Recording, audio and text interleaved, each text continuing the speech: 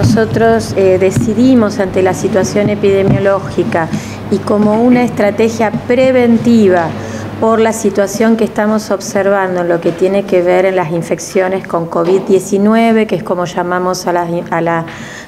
al, virus que produce este estado respiratorio, todos lo conocen como coronavirus.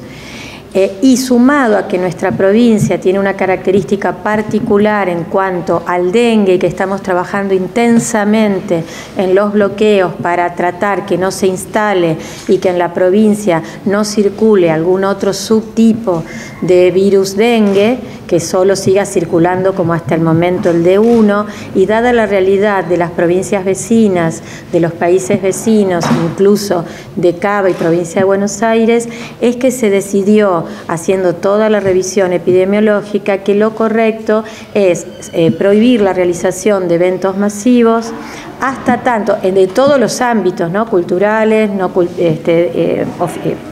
del Estado, eh, privados, religiosos, deportivos también, hasta tanto se modifique la situación epidemiológica. Entendemos que situación epidemiológica, ustedes lo están observando a nivel de los comunicados de la, de la Nación y de los otros países, esto es dinámico, esto se analiza día a día y se van dando comunicados que van variando, entonces también tampoco uno puede predecir en qué momento esta resolución se va a modificar. Pero nos pareció una manera, como decía el señor obispo, son decisiones difíciles, pero es una manera responsable de empezar a cuidarnos entre todos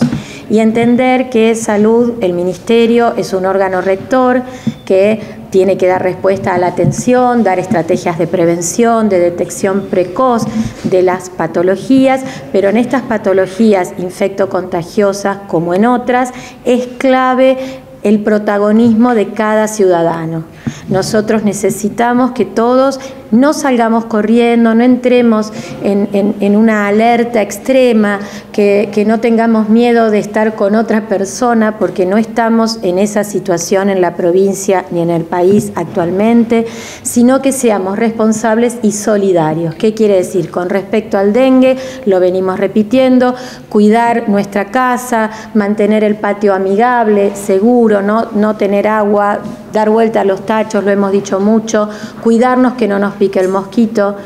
En, con respecto a la patología respiratoria, si venimos de países donde circula el virus, países vecinos, quedarnos en casa, hacer lo que se llama el, este, quedarnos eh, el aislamiento social. Quedo en mi casa, no voy a lugares concurridos aunque esté sano. Ese es el aislamiento que se realiza. ¿Por qué? Porque como tiene un tiempo de incubación y tal vez en mi viaje en el exterior tuve contacto con alguna persona que en ese momento podía contagiar, es una manera solidaria de frenar el ingreso del virus a la provincia entre todos. Para eso el Ministerio de Trabajo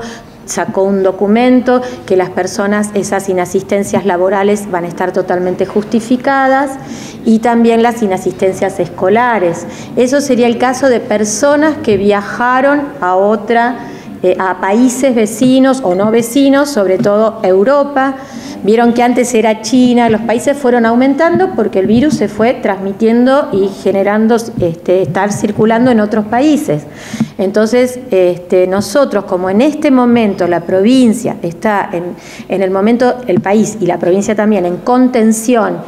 ¿Qué quiere decir? Que todos los casos son importados y la estrategia es cuidarnos y hacer una detección precoz de casos, estamos en vigilancia. Por eso ustedes van a ver que de golpe dicen, se gatilló el protocolo de corona. No quiere decir que esa persona se considere enferma, sino que tiene una situación de riesgo epidemiológico o porque estuvo en un país y hay algunos grises que también nosotros los, los tomamos porque queremos ser muy cuidadosos para aislar preventivamente en su domicilio hasta que uno confirma o no si es un cuadro viral habitual de los virus habituales o si realmente tiene que ver con este nuevo virus.